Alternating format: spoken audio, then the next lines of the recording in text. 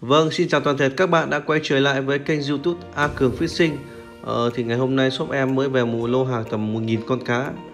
Này Cá này được gọi là cá 6 cúc, cá 3D 6 cúc Chuyên dành cho anh em cần thú câu cá biển hoặc sông.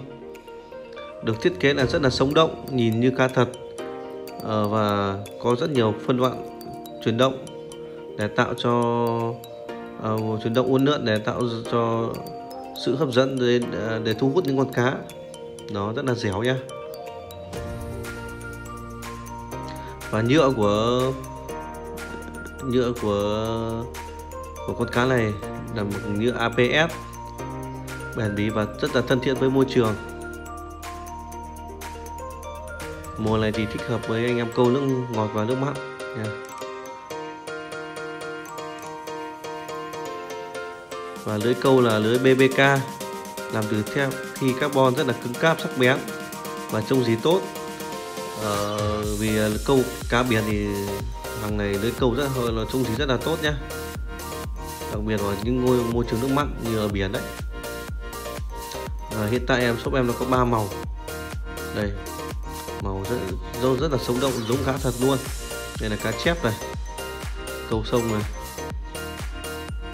đó, nhìn rất là sống động 3D đó.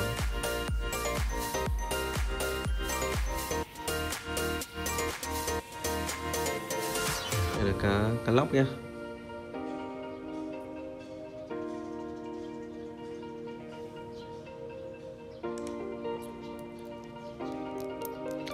và mắt cá thì uh, trang bị 3D rất sống động như mắt thật luôn. Uốn lượn rất là dẻo lắp sang bên trái lắp sang bên phải rất giống như thật cá thật luôn. Đó. và bây giờ em sẽ đo thực tế con này nhá, con cá này nhá. Cá này hiện tại là có trọng lượng là 20 g và chiều dài tầm 10 phân. 10 phân nha anh em nhé